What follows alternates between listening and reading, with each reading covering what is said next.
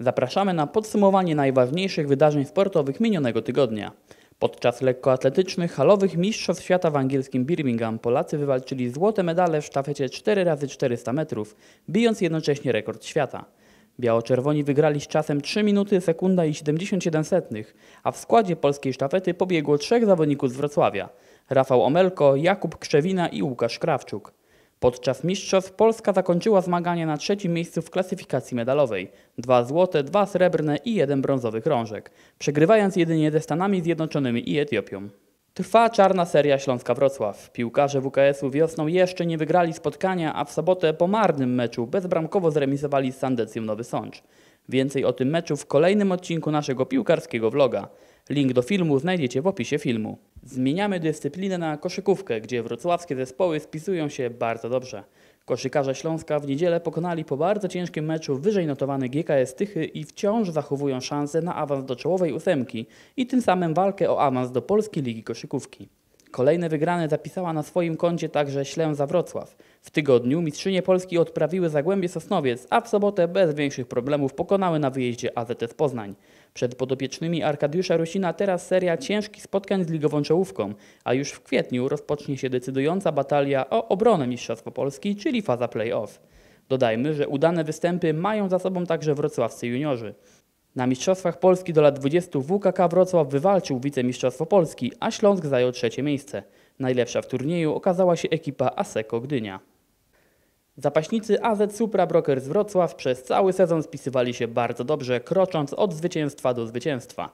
Jednak w decydujących potyczkach w półfinałach z Borutą Olimpijczykiem z Gierz Radą dwukrotnie przegrali.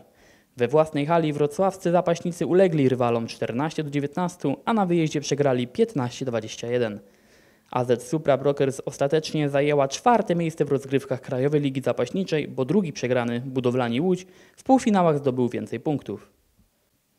Wrocławscy biegacze wpisali się na medal w Anglii, a sporym sukcesem zakończył się także wrocławski trzeci bieg dla hospicjów.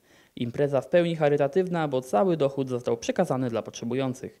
W zmaganiach wzięło udział niemal tysiąc biegaczy, a przy okazji imprezy uroczyście otworzono sezon biegowy i zainaugurowano dziesiątą edycję programu I Ty możesz zostać maratończykiem.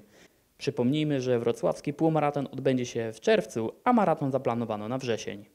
W tym tygodniu porozmawiamy o dyscyplinie, która jest uznawana we Wrocławiu za sport niszowy. Kulisy baseballowych zmagań przybliży nam Marek Kozioł, zawodnik Baron z Wrocław. Dlaczego baseball? To nie jest sport y, bardzo mocno popularny Polsce, we Wrocławiu.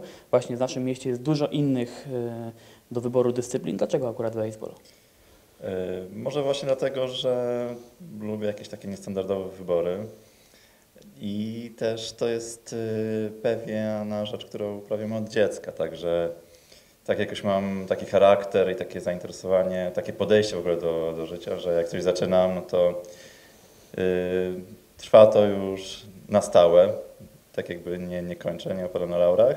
No i jakoś dla mnie to było na początku wyzwaniem, którym się mierzyłem y, poprzez różne etapy kariery, od występu we wrocławskich drużynach, poprzez występ y, w Ekstralidze polskiej baseballu, czyli najwyższej klasie rozgrywkowej, aż kończąc tutaj, no cały czas gram, Mm, najwyższym moje osiągnięcie to było występ w europejskich pucharach dwa lata temu w Barcelonie i występ w reprezentacji polskiej. Baron to jest y, drużyna stosunkowo młoda, ale zaczęliście grać i no, są też sukcesy, tak? Właśnie europejskie puchary, inne też sukcesy na, na tak krajowym podwórku powiedzmy. Tak, klub Barons Wrocław rzeczywiście jest dosyć młodym klubem, ale nie jest już takim niemowlakiem, ponieważ y, w tym roku będzie kilkunastolecie działalności klubu. Y, Zaś y, baseball we Wrocławiu to jest początek lat 90. y, Wtedy powstał. Także jak najbardziej to nie jest taka dyscyplina, która przed chwilą powstała i teraz już jest, tylko to jest bardziej dyscyplina, która teraz tak jakby dochodzi do głosu we Wrocławiu. Tym bardziej, że tutaj mamy skąd czerpać wzorce, tak? Mamy tutaj boisko na, przy Stadionie Olimpijskim Stana Musiała. Tak jest. Y, Boisko zostało wybudowane y, w 1991 roku przez Fundację Amerykańską w porozumieniu z y, ambasadą amerykańską. Wtedy to było tak jakby pierwszy tak jakby krok w kierunku zachodu po stanie wojennym, prawda? Czyli to było takie bardzo na topie. Od tamtego czasu na Akademii Wychowania Fizycznego funkcjonowała y, drużyna AZS AWF Wrocław, była specjalna katedra y, baseballowo-softballowa. Do tej pory z tego boiska y, korzystają studenci AWF-u, właśnie trenując baseball softball.